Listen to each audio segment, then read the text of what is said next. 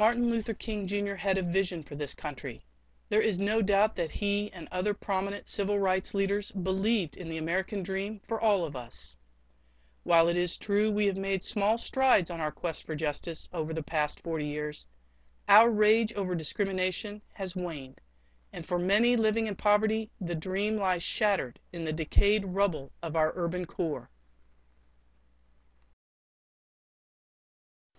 Have the pleasure to present to you Dr. Martin Luther King, Jr.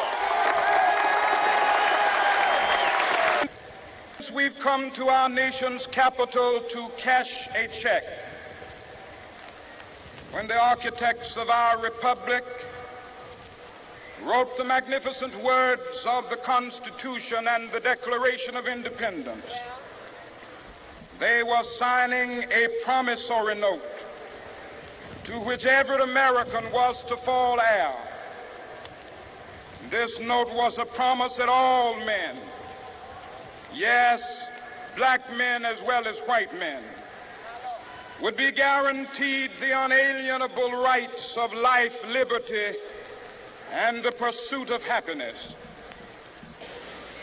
I have a dream that one day this nation will rise up and live out the true meaning of its creed. We hold these truths to be self evident that all men are created equal.